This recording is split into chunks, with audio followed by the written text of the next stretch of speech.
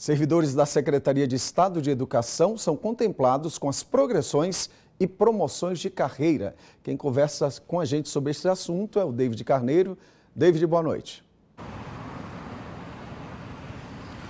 Oi, Alexandre, boa noite para você, para todos que nos acompanham. O governo de Minas publicou hoje no Diário Oficial do Estado o nome dos 15.200 servidores contemplados. Do total publicado, 12.975 são de progressão, 2.225 de promoção.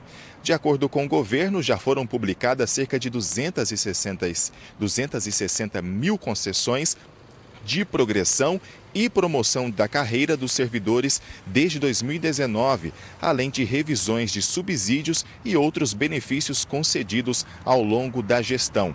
Ontem, o projeto de lei que propõe o reajuste de 12,84% para os servidores da educação básica em Minas foi aprovado em primeiro turno na Assembleia Legislativa. A proposta é de autoria do governo do estado e busca adequar os vencimentos dos profissionais mineiros ao piso nacional da educação. A proposição retorna agora para a Comissão da Administração Pública para aparecer de segundo turno. Volto com você, Leal. Muito obrigado, David. Uma boa noite.